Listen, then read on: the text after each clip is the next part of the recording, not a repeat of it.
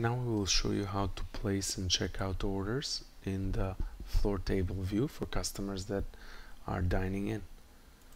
So we'll just go to the floor table view and let's say we have a customer on table 7 and we'll just um, place their drink order and then their food order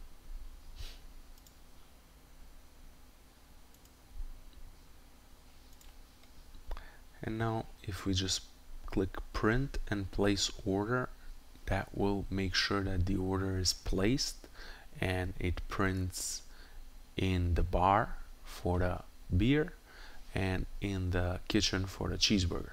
Actually we'll print uh, three slips. One goes in the bar uh, one goes in the kitchen and one goes uh, in the front on the ordering station for the uh, waiter to have their own copy. So I'll go ahead and do that right now. Click print and place order. And that finalizes the order. Well, actually it's a running tab. So then, you know, uh, you can see this table now is occupied color and these lighter tables are of the available color. So this is obviously an occupied table. If you ever want to come back to it, you know, you can go ahead and serve other customers, do whatever, come back to it and just click here. You want to uh, kind of like remind yourself of what is there on this table. You can just click view existing order.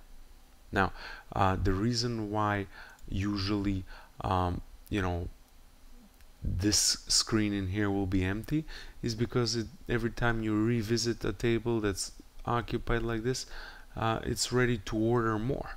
So let's say the person wants to order one more beer you know same thing print and place order you know go back. You don't have to go back I'm just simulating you know uh, you're going on about other business.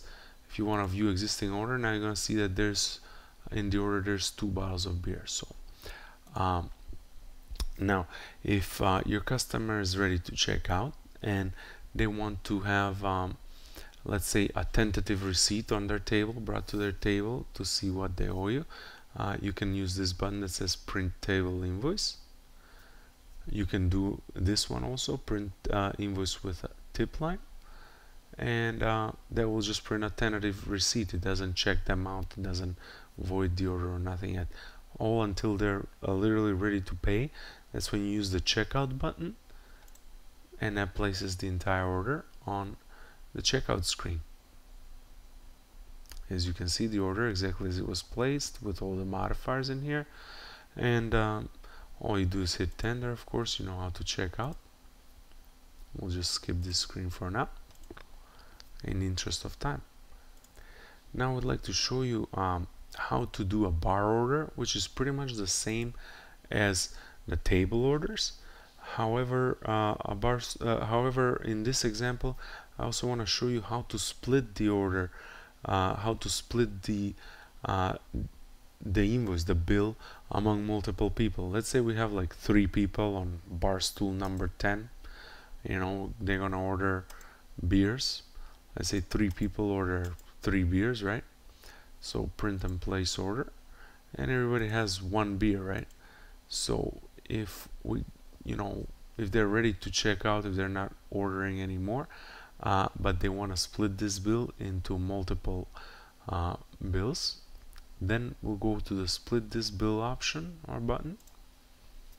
And this simply asks you this is the entire order on the left side and it's simply asking you who's ready to check out first and what are they paying for. And that's what we put on the right side. So let's say this one guy had one beer he wants to check out and we check them out.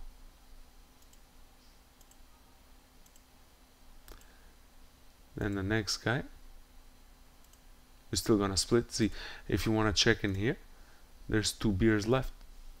So we're still gonna split the bill. The second guy pays for his own. Of course if there's more items in here we'll put whatever they had. Check out. And finally the third guy See, there's just one beer left in here. Check out, or you know since this is the last guy and everything goes to them you can either do this or you can just hit checkout in here because there's only one item or only their items left on the table and you check them out. And that's how you split a bill